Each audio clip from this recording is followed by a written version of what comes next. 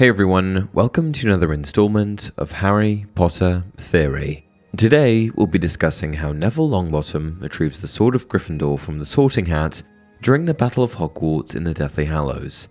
The Sword of Gryffindor was, of course, once the property of one of the four founding members of Hogwarts School of Witchcraft and Wizardry, Godric Gryffindor.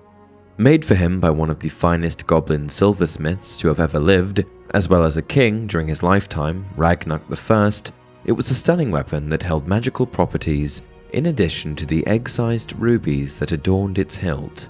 Similar to other items associated with the founding members, including the magical diadem of Rowena Ravenclaw, which enhances the intelligence of the wearer, and Godric Gryffindor's hat, which became the sentient, singing sorting hat responsible for placing students in their houses, the Sword of Gryffindor also had magical elements of its own. To start with, due to the fact that it was made of goblin forged steel, it had the ability to absorb the powers of other materials that it came into contact with. This explains why the Sword of Gryffindor was able to destroy Horcruxes.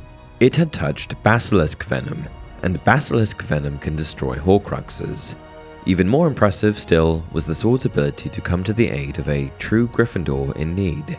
The legend goes that if any Gryffindor who was pure of heart found themselves in a challenging situation, they would be able to call upon the sword, knowingly or not, to appear in Gryffindor's former hat, aka the Sorting Hat, to aid them during their time of need.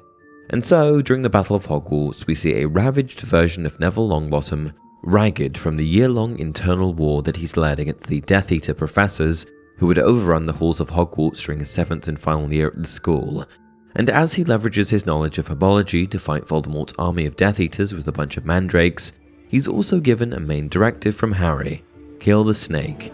But before he even gets near Nagini, Neville finds himself completely unarmed, face to face with Voldemort himself.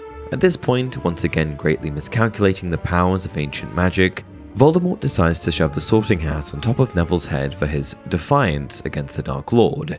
What he doesn't realize is that he's just given Neville one of the few things that could provide him with a weapon, and in the next few moments we witness Neville retrieve the Sword of Gryffindor from the hat, which also happens to be one of the only things that could take down Nagini. So, where did Neville get the sword from?